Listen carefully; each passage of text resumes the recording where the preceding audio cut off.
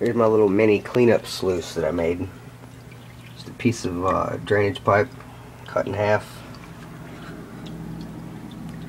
with uh, rib rubber mat cut size. Stick it down in there, it'll hold.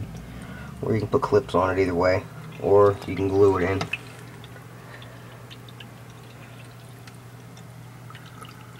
Pretty easy to make.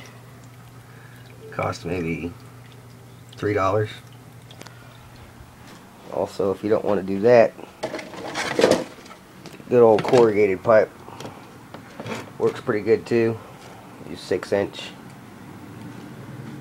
Use that with the old mini sluice. Now you take uh, take the stuff out of this, and when you're done, I suck it up instead of instead of dumping it. I suck all the concentrates out of it. That way I can just put them directly into a pan. And instead of getting a pump, I had an old fish tank and an old filter.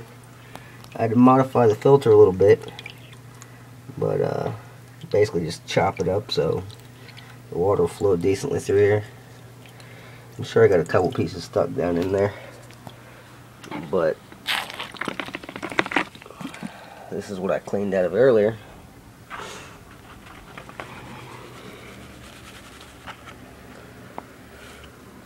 See if I can get some of that gold to show up. Yep, gold already.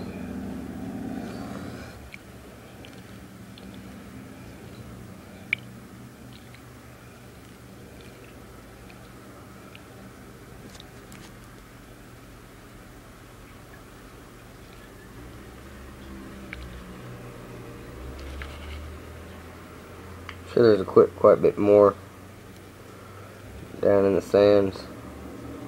See some lead in there too. And four spots in a row, that's lead.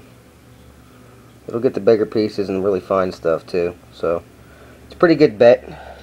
Cheap to make, easy to do. Lost River Gold.